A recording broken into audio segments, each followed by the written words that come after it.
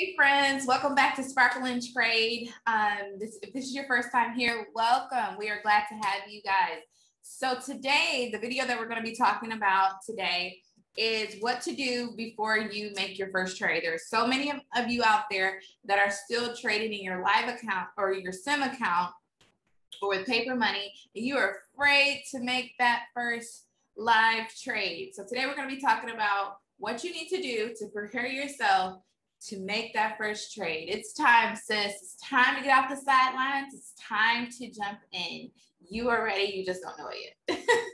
so, okay. So, um, I wanted to do this video because making that first trade is a big step. It's a big step for a lot of people and it's something that you shouldn't take lightly. You know, this is your your money, your hard-earned cash that you have to that you're going to be putting into the stock market. So you want to make sure that you are ready, you are prepared, and that you know what to expect. And this is my, I'm going to give you guys five, my five tips on what you should do before you make your first trade. Number one, understanding the difference between sim and live and what that could possibly do to you. First of all, if you've been involved in any type of trading, and this is this is a channel, I guess, for newbie traders, but if you're an experienced trader, then um, you should already know many of this stuff.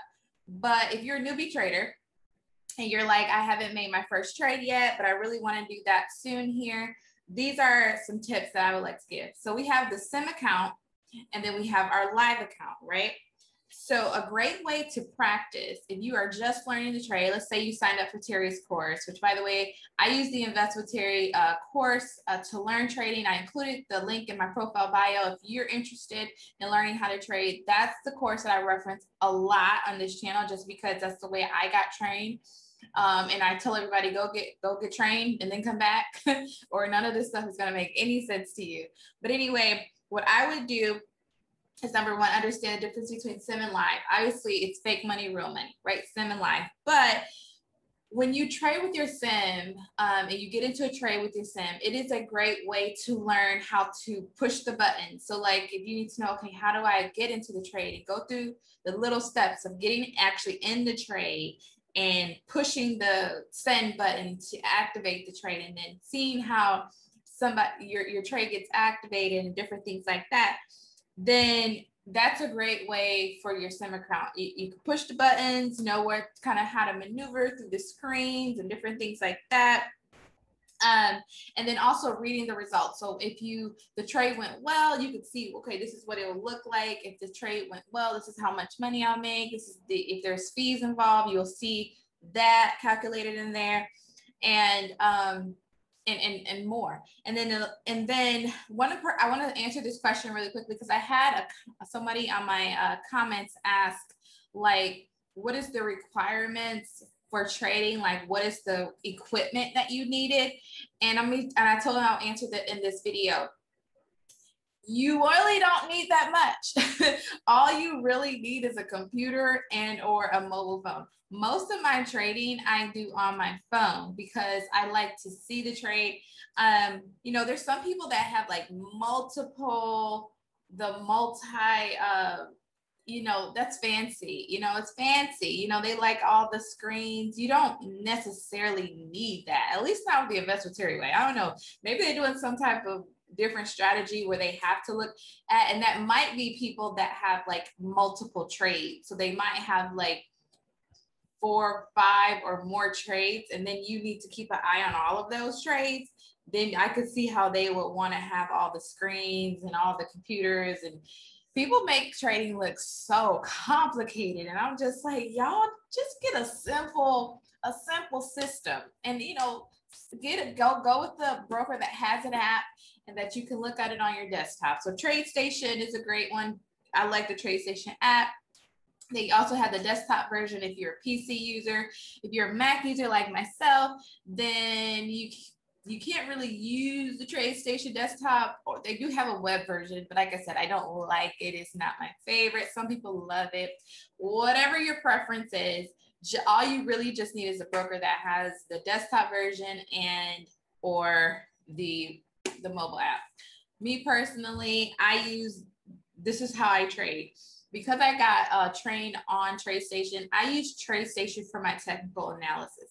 I just, it's something about the way I was trained and seeing it the exact same way that she sees it, her charting, the way she charts, and all of the steps that she. But anyway, I use the TradeStation app, and it's like I, like I was saying, I prefer to use the app that um, that I was trained on. It's something about seeing the way she did it. It really helps me to do my technical analysis correctly. Um, like I said, they have a desktop version. So don't want to spend too much time on that. I did do a video about my favorite trading platform, and I go into detail on how the reason why I chose those two and how I use both of them. Um, so just go look for that video. But today, I, again, I really want to talk to you guys about five things you, you should do before you make your first trade. Just wanted to answer that question like I told them I would do. So anyway, like I said, your SIM account, when you are in your SIM account, it is great as a great way, like I said, to, to maneuver, to learn the platform, to learn um, different things that you need to do to get in and out of a trade. The live account, in my opinion, and everybody is different, y'all. So this is just me, okay? In my opinion, when you trade in your live account, that is um, when training really begins because such a big portion of trading is emotional. It is very hard to manage your emotions with money that doesn't even belong to you. So if you have $50,000 in a SIM account, or let's say a million dollars in a SIM account, that feels so unrealistic. It's like you're not really attached to it. And a big part of trading is being knowing what you're going to do and managing yourself to something you're attached to, like that has a deep connection to you because you work for it or you have plans for that or you, you know, that's the part of trading that really is the training part of it the trade tr- stock trading i think has the most to do with you managing your emotions because um you there is no magic formula that will guarantee that a trade will go in the direction that you think it will go in. There anything can happen at any moment and it can all go different different ways. So i just want you to be ready for that. So number one know the difference between sim and live um, I always say start with something small in your live account. So like if you're like, okay, I have a thousand dollars to trade with, just start trading with like a hundred dollars. Just start trading, you know, just trade, do enough for a hundred dollars. Get in, feel it, right? Get, okay, this is how it feels to be in a trade. Like monitor yourself. So some people they find that their stress levels go up or their anxiety goes up because they're kind of like clenching, hoping everything goes well. You can't live like that every day. If you gonna try, if you gonna be clenched, like you gotta, you gotta like know yourself. So what I would say when you make your first trade with that hundred dollars or two hundred dollars, like write down the different emotions that you feel. Like uh, like throughout the day, write down I feel stressed. Write down I feel excited. Write down like write down the different emotions that come up so that you will ha- have a plan when you're ready to make a big trade. Because right now we're just trying to get you used to trading and managing your emotions. Okay, so get into the trade. Start writing down the different emotions you feel. Okay, at the beginning of the day, I got a trade at 10 a.m. and I felt like this. right, write that down. Um, and then say I checked on my trade at noon and I felt like this. My trade started going in the direction I want. I started feeling good. I said, I'm gonna be a millionaire. I'm gonna, you know, ride the whatever. And then then uh, two o'clock came and said it went in the wrong direction. And I started feeling like a failure. Whatever it is, write it down because you, you will need to ask yourself, what am I to do when I start to feel these things? So number two, so number one, know what sim is for. And like I said, getting out of trade, getting used to the platforms that you use, whatever, reading the results, etc. Live, real trading begins. Start with something small and then write down your emotions. Number two, now, um, a stop, and Teri teaches you this, of course, a stop is a part of risk management and it helps you it helps you manage your emotions and it is great risk management. But what a stop is, it gets you out of a trade uh, if it goes in direction that you don't want to go to. And she gives you a formula and everything in her course on how to determine what that is and how to do it. But you need to make sure you have that in every trade. Don't ever get into a trade without a stop. I'm telling you, the day that I have my my risk, um, my max loss, I have a video about um, experiencing max loss on options trade, I took out my stop order, y'all, because I was convinced that this was going to turn around. And I mean, I'm telling y'all, I've done like so many mistakes. I like, I went head first into trading and I learned it a lot in a short period of time because because that's just how I am. But you don't have to be like me and lose to learn. Okay. But watch your trade throughout the day, putting your stop to make sure that if it does go in a direction and you're not looking at it, um, that you're fine. That you're like, okay, what's gonna get me out?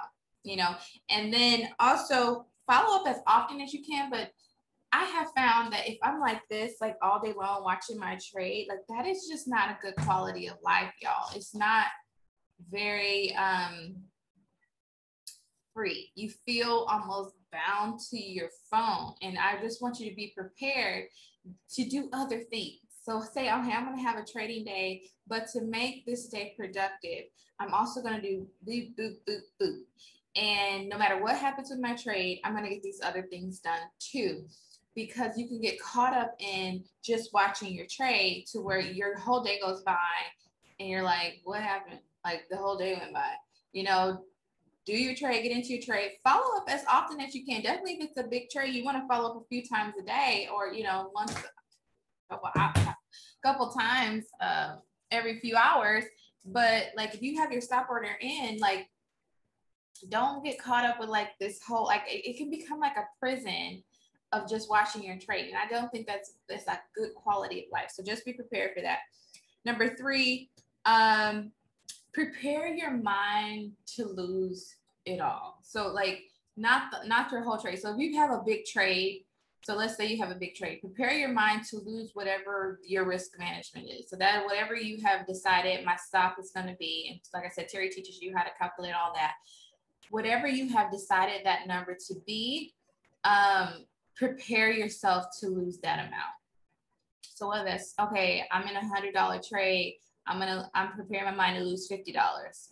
Okay. Um, I'm in a thousand dollar trade. I'm preparing my mind to lose two hundred and fifty dollars. Okay. So ask yourself if I do if it does go in the direction that I don't want it to go into, how will I feel if I lose this amount? And then how will I bounce back? So how will I feel if I lose this amount? And then how am I going to bounce back? Um, you have to prepare yourself for that because what will end up happening is you know i've seen trades go up and all my excitement is there. I'm feeling good. And then it goes in a wrong direction. Like i should have got out and i didn't.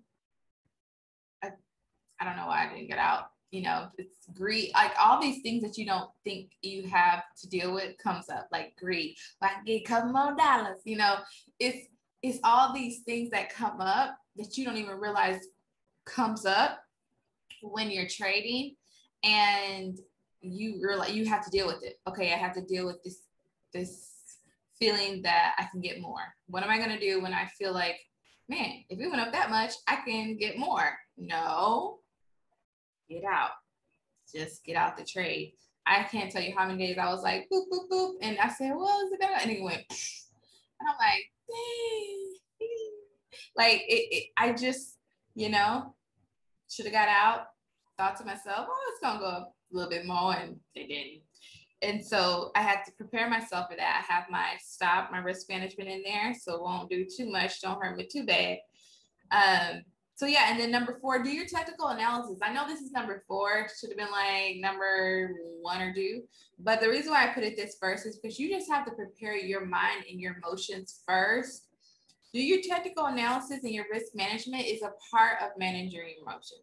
So do all the work, take the time. Teri walks you through it in her course exactly how to do your technical analysis, exactly how to do your risk management, the formulas and everything that you need. She has it in the course. If you did everything you did, if you did everything you are supposed to do, you calculated it all, got into the trade, prepared yourself, understood that I'm okay, you know, if anything happens, and I'm going to bounce back regardless, um, then you can confidently say, I got into that trade doing what I what I should have done. I've got into that trade confidently feeling like, okay, I did everything I could do to make sure that this trade was a good trade. And if it doesn't go in the direction that I want to go to, it's not because I didn't do the work. It just the trade didn't go in the direction that I thought it was going to go in for whatever reason. And trades do that. You can't help it. Like nobody has like like a magic wand to make it all go the direction that it should go into. You can only do the best you can with your technical analysis. Don't be hard on yourself. Don't uh, allow yourself to think like maybe this is not for me. No, I mean, maybe it is for you. And, and, and maybe you just got to learn yourself enough to learn your lesson. And that leads me to the last one, number five. Learn from every loss and every win. The reason why I'm still in trading, not is not because every trade went my way. It is not because um, you know I mastered something. Um, the reason why I'm still in trading is I have decided to learn from every loss and every win. What what did you learn from that loss? I had a loss last week. I learned from it. Um, you know, I, I, I, I don't, I don't have max losses anymore because I learned from that. that will never happen again.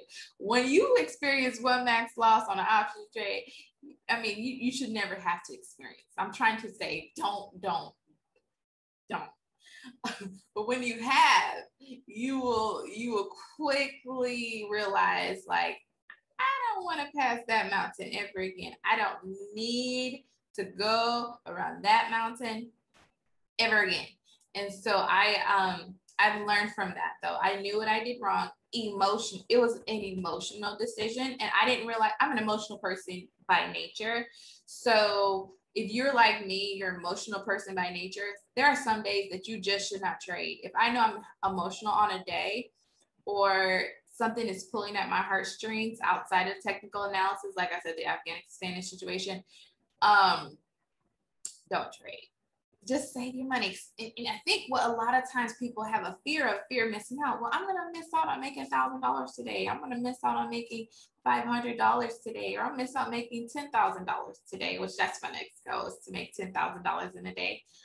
But um, you guys if you are there, you know, if you're like, okay, I I don't know, if you're there, if you're at that point where you're like, I'm emotional, I'm my heart is tied to something, I'm really like I or or the other the other emotion that I want you to watch out for is I really need this trade to go well. That's one of the emotions where I'm like, take a step back because if this, if you're like, I gotta have, I need to grow this account, like you're so like, this has to go right today, take a step back because nine times out of 10, when you needed to go in the direction you I wanted to go in, you usually make choices that aren't really healthy. Definitely like if you're like, okay, I have a, a income goal and I need to make this income goal and this one trade will get me to my income goal. Take a step back. Actually, you might want to have accountability partner on those situations that have somebody say that also knows trading. I just need a second eye to look at this because I'm in a position that I really need this to happen, and this one trade will get me there. However, I'm really like hungry for it to where I'm not sure if I'm in the right mindset that's a good indicator that you need second eyes on a trade. Um, because that that hunger could make you like get into a trade that let's say it's a vertical credit spread. Get into a trade it makes you you know $700 and you you making that $700 with the vertical credit spread you see that money hit, hit your account instantly right? And so you're like oh i hit my income goal. Well yeah well we, the whole trading day hasn't gone by yet you might not hit your income goal and if you don't then that money is not going to be there at the end of the day because you got into a bad trade. Like, right, that even though that money hit your account right away, it, it didn't, the option didn't close out so that you can actually have that money. So I hope that makes sense and I hope that helps. But let me know your thoughts um, about what I said um, and any any suggestions that you guys have if you're currently trading to manage your emotions. We can help each other out within this community uh, feel free to comment if you had a great trading day, you had a horrible trading day. Um, also, um, if you guys need any particular uh, video that you want to know about my personal training journey, feel free to ask questions. I'm here. Like I said, I use the Invest with Teri method, so I can't teach you, but I have included a link to her course in my profile bio or my, in my description below if you guys want to learn more. All right, that's all I have for you guys today. Have a good one.